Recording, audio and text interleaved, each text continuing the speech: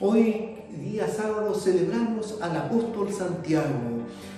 Felicidades, primero que nada, a todos aquellos que llevan este nombre de Santiago, a las comunidades que están bajo su, protector, el apóstol Santiago. Hoy día celebrar a Santiago significa también para nosotros revisarnos. ¿Revisarnos en qué? En nuestro ser discípulo. Hoy día Jesús le cambia en el Evangelio el prisma. ¿Para qué nos somos nosotros discípulos? ¿Para qué somos discípulos? Para ser servidores. Servidores a través de una función que te hayan comentado a ti y a mí. Esa función a mí como párroco.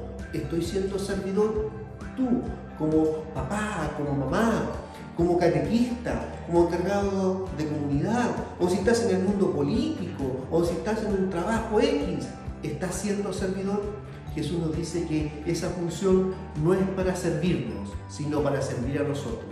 Pidámosle hoy día que renovemos nuestro compromiso de discípulo, siendo una vez más servidores de aquellos que nos rodean. Que tengan ustedes un bonito fin de semana.